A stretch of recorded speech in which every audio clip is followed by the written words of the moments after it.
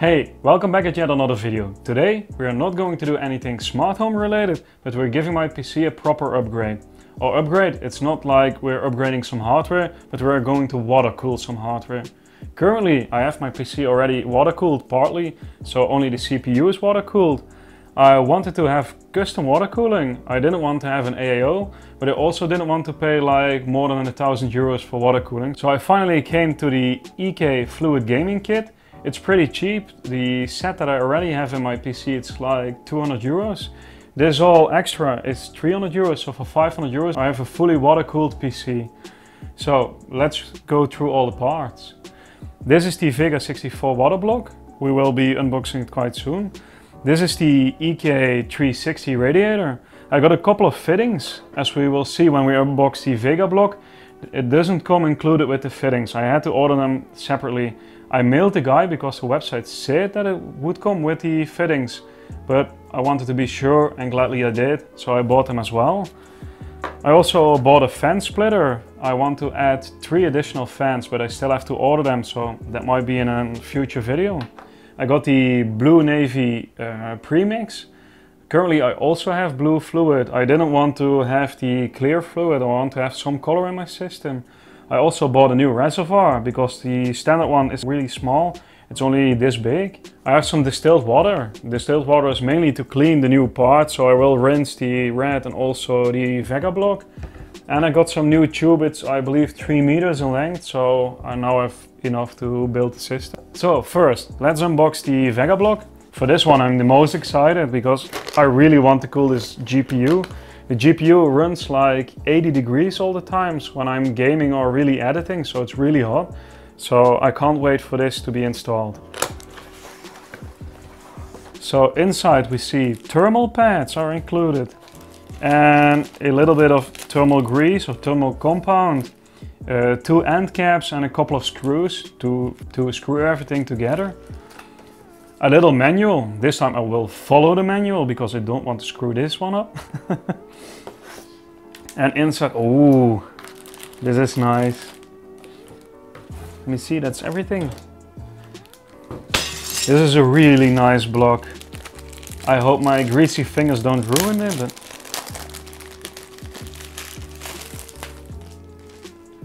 Ooh, look at this. It doesn't come included with a backplate.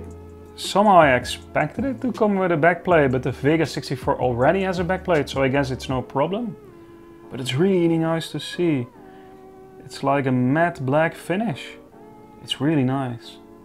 It also comes included with some lighting, so the Radeon and EK logo, I believe both, will light up. You can see that here, it's uh, a cable included, so yeah, let's see what it will be when we install it. As you saw with, it, with the included packaging, there aren't any fittings included, so I'm really glad that I bought those separate. So this is the EK block. Let's put that aside. Next thing, we will be opening the radiator. So this one, it's a bigger box, but it's not only a radiator, you also get three uh, included fans. You also get with every packaging this label. You should never mix anything with the aluminum set, so copper and like all the other products, don't mix them. You get galvanic corrosion, it's called, and you really don't want that in the system. So as you can see, three fans included. I will unbox one, if I can get it out.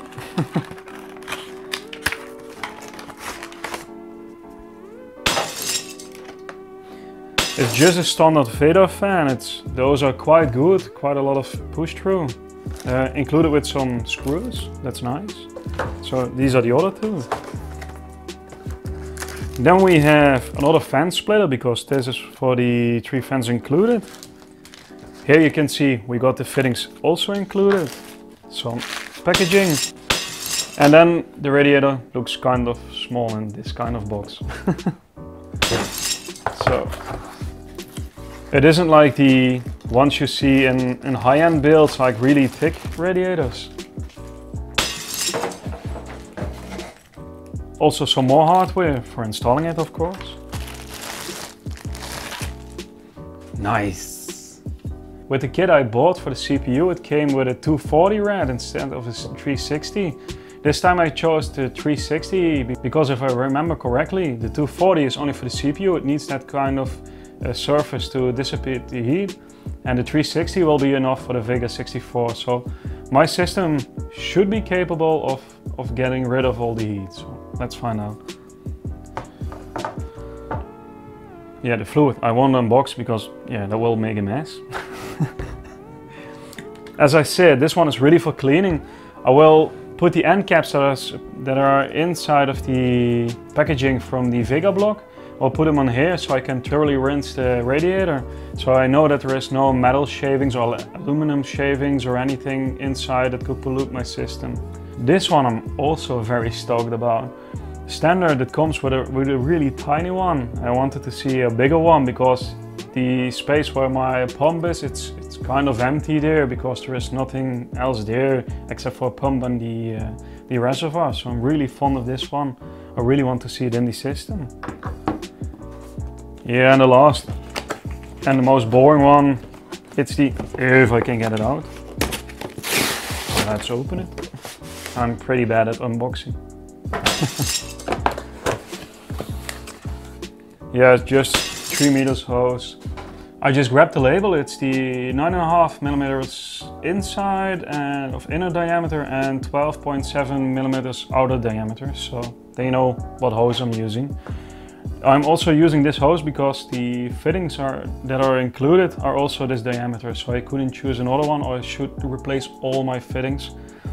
Uh, in the future, I want to upgrade to the hard tube because currently it's possible to, to buy it, but it's kind of expensive for me. If you want to sponsor me, that's okay. but for now, I will stick with the flexible tubing and when I want, I will move to the, to the rigid tubes.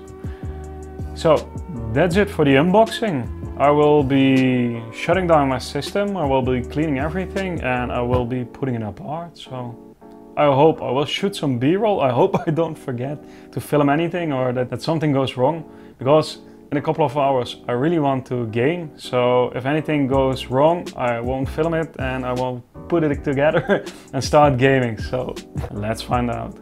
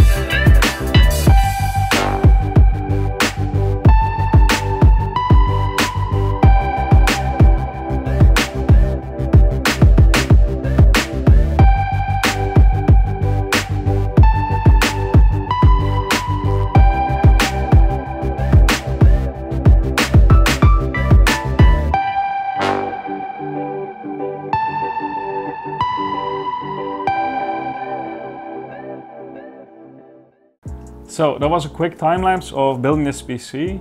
As you can see, the installing of the tubes you missed because I lost the footage of that time lapse. I don't know exactly what happened. I guess the phone is too old to work properly. As you can see, I installed a new reservoir, the bigger one. I installed a new top radiator. I installed the GPU block together with a couple of new fittings. For now, this will remain a push configuration. In the next video, I will convert this push configuration to a push-pull, just like the one in the back. The three Corsair fans will be replaced by the new ones from Gamerstorm or Deepcool. And those will come, the Corsair fans will go to the top to hopefully give me a little bit of a blue glow onto the rest of the components. And the MF120S will go into the back. I bought those because I really like the look of those fans, but I'm still not sure how they're going to look with the big reservoir in the front. Maybe if I really don't like it, I will put back the old one, the smaller one, or if I like it, I just keep it like this. That's it for this video. I'm planning to redo my PC. after installing those fans, I don't know if I will stick with this case or move to another one. That's never a certain thing in my life. I keep switching cases and components. uh, my girlfriend also has a YouTube channel and she wants to improve her PC. So we're also going to do an improvement and also going to mod her PC. But that will be around the summer, I guess, because she really needs the PC now and it's too cold outside to spray paint anything. I also have a retro PC and a server. I might do a upgrade for those as well. But the next video will be about the MF120S fans and the single slot bracket because I want to replace the dual slot bracket for this video card. That's it for now. If you really like this kind of content, please give this video a like. If you really want to follow everything I do, then subscribe to the channel. You will stay updated. There is more smart home stuff coming in the future because uh, Philips is going to release some new stuff, IKEA, Trust, so there's always something to review for me. So for now, subscribe and like, and I will see you the next time. Bye.